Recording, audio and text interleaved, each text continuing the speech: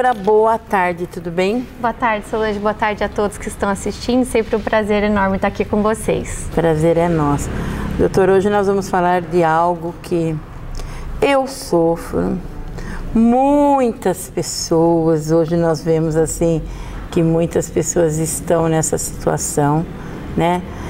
Que é a obesidade, né? Sim. Quando eu falo de obesidade, assim, eu posso falar, eu gosto de falar aquilo que eu que eu vivo. É importante quando a gente fala de algo que, que, uhum. eu, que a gente vive, né?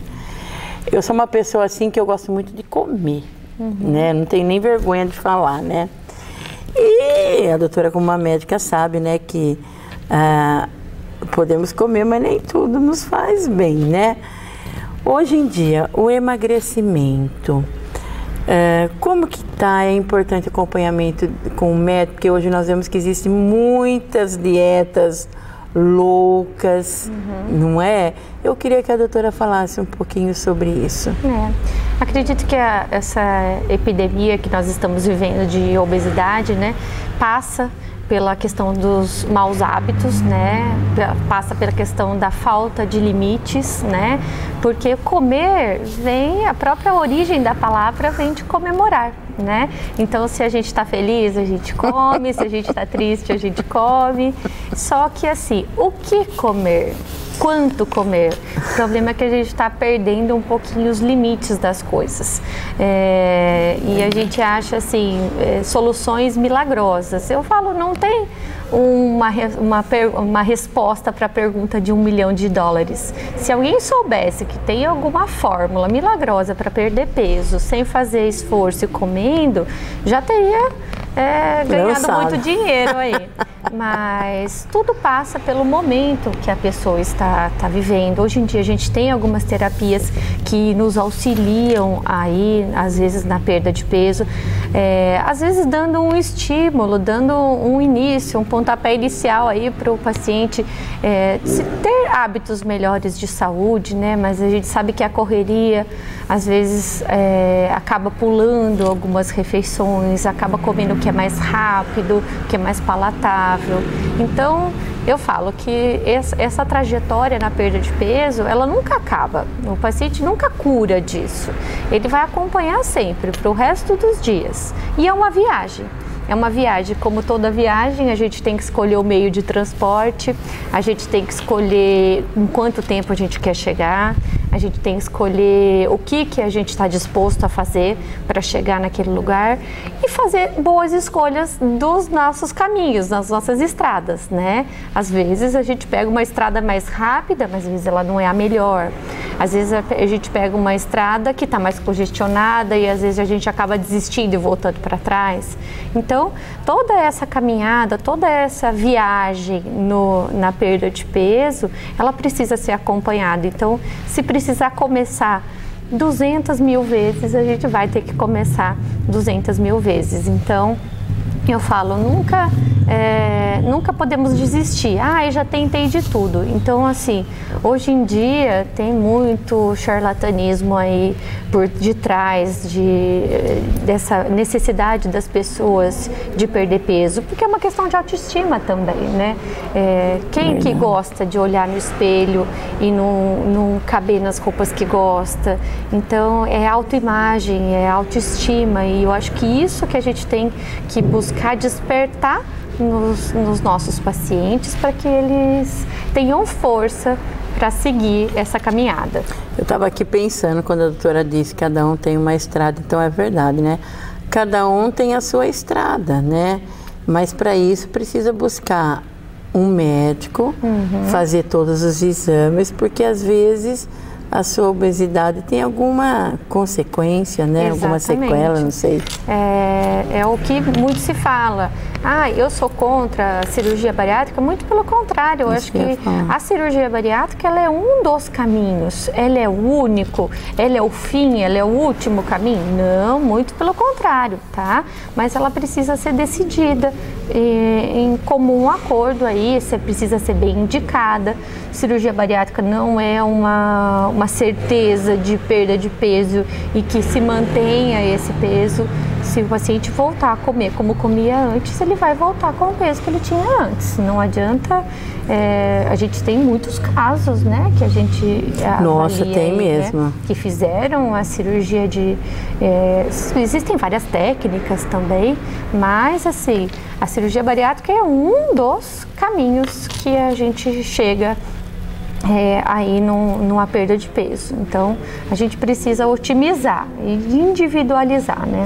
E é verdade, né, doutora? As pessoas, quando elas estão obesas, a autoestima dela muda muito, né? Muito, muito. E como?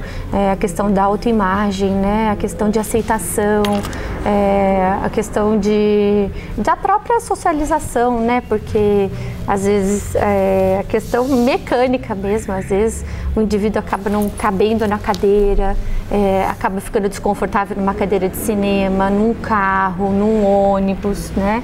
E isso a gente tem que considerar e é bastante importante, né? E é verdade, né? Eu falo assim que a coisa mais triste, porque que tenha ser em determinado lugar você não é, fica com medo de sentar em uma cadeira. Eu falo que hoje em dia a gente fala tanto em inclusão, né? E eu acho que é inclusão em todos os sentidos. Em todos os sentidos, é. é. Não só inclusão de, de, de algumas deficiências, conscientização, eu acho que faz parte. A gente tem que se atentar a isso em todos os locais que a gente, que a gente vai. Né? Às vezes a gente pensa, fala assim, ah, o negro, né, discriminado né? Mas o obeso também é, é. né? E como hoje em dia nas escolas, né? Então a gente vê aí que as crianças estão é, com um grau de, de sobrepeso é, que dificulta às vezes uma atividade física e, e, com isso, então a gente a gente tem que trabalhar isso tudo em todos o, em todos os pontos, desde no, no clube, na nas, no, no terreno que a gente joga que as crianças jogam futebol, em, dentro de casa. Né? Acho que a é inclusão, é essa né? inclusão nunca foi tão importante como ela é agora. Doutor, eu percebo assim que muitas vezes é, a família, o pai e a mãe que é obeso, o filho é obeso, hum. né? Os filhos são obesos. Isso refere muito à alimentação, né? É porque eu falo, uma criança, às vezes, ela não tem o dinheiro para ir lá no supermercado e fazer boas escolhas, né? Então, faz parte aí dos pais, né? E é uma coisa herdada, né? A gente sabe que isso é uma característica genética, até durante a própria gestação. Acho que esse é até um, assunto para que a gente aborde no, num programa é, é, só para isso, né? Mas o impacto da obesidade durante a gestação. Então, é, isso a gente cria no berço, né? Não estou dizendo, a gente precisa dar bons exemplos, mas não é que o, indivíduo obeso ele tenha tido maus exemplos em casa, é que às vezes é o meio, né? O meio que ele vive. É, que nem porque tem gente que fala assim, a criança é um pouquinho fofinha, fala assim, ah, mas o pai e a mãe também é.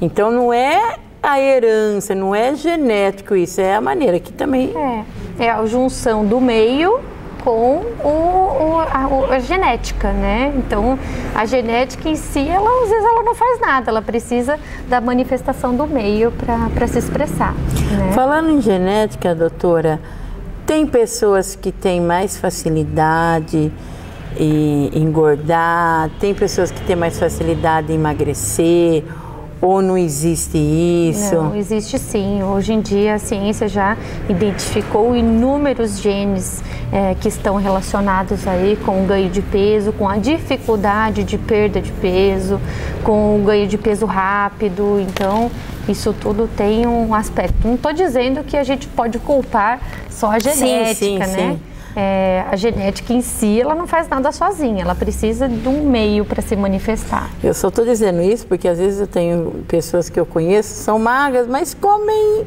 Eu falo, meu Deus, mas você não engorda, né? Eu sou daquela de verdade, doutor. Eu olhei na comida, eu já tô aí, então tem muito a ver também. Tem, tem muito a ver. E tem a memória metabólica, né? O que seria? A, as células de gordura, elas assim, elas incham. A gente perde peso, elas murcham, mas elas continuam lá. A célula não evapora, né? Então assim, ganhar peso depois que você perdeu, mas que já tenha uma história aí de ganho de peso é muito mais fácil. Né? Então é o tal do efeito sanfona que todo mundo fala, né? Então da importância de, além da gente compreender é, isso tudo, é não deixar progredir. E tem pessoas também que comem e não engordam também? É, tem pessoas que têm um metabolismo um pouquinho mais acelerado. Acelerado. Né? Então, assim, é, e eu falo que perder peso não é tão difícil como ganhar. Eu Nossa. tenho pacientes que me procuram às vezes para ganho de peso, mas ah. o indivíduo que é às vezes um pouco mais magro e que tem isso já como hábito dele, ele não come qualquer coisa. É. Entendeu? Ele não come três pedaços de bolo. Fala assim, não, mas coma para você ganhar peso. Ele não come, não, não é cabe. É isso mesmo, é né? isso mesmo. É. Então, é. eu acho que é a mudança comportamental e a mudança de querer também. Tem muitos pacientes que chegam no consultório forçados por alguém. Esse indivíduo que não quer, que não tem ainda, não despertou dentro dele a necessidade é. de. A cabeça não mudou, é, né? De perder peso, tem muito para onde a gente correr, né? E antes de terminar, doutora, nunca desistir? Nunca. E sempre recomeçar. Eu falo que se tiver que começar mil vezes, nós vamos começar mil e uma. Porque a gente está aqui, está vivo, sobrevivemos a essa pandemia, pandemia. quem sobreviveu aí. Verdade. Ai. Então nós temos que continuar, tá? Nós temos que continuar lutando. E a ciência vai tentando desenvolver formas aí para tentar deixar a nossa vida um pouco mais fácil de ser vivida. Só mais um detalhe aqui que eu me lembrei, né? Que muitas pessoas falam assim, ah, eu estou tomando me medicamento, não só de emagrecer, qualquer medicamento não combina com bebida alcoólica. É, eu acho que não dá para a gente trocar um vício por outro né?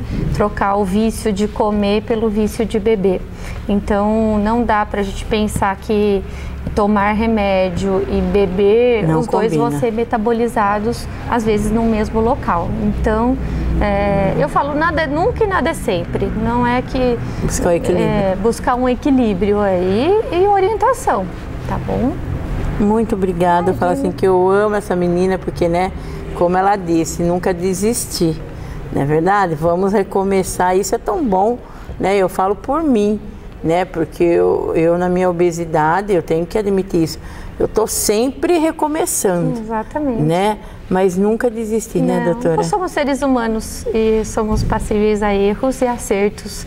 E às vezes o que a gente precisa é de boas influências, de alguém que está ali falando, vá em frente que eu vou com você. Obrigada, Obrigada doutora. Eu. Essa foi mais uma dica com a nossa, né, doutora Gabriela Romano.